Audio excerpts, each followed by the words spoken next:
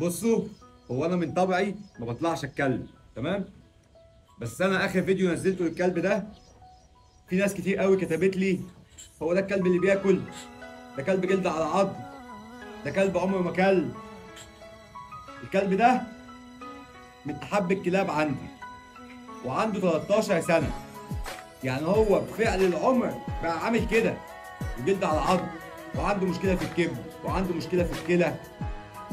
ومش عايز أقول لكم أنا صرفت عليه فلوس قد إيه عشان يتعالج.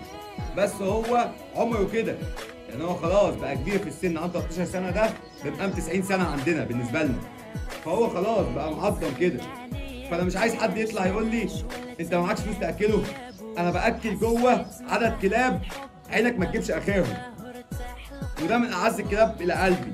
هل مش هقدر أكلهم؟ فبلاش كومنتات سلبية. حسيت معه بالحب وقلبي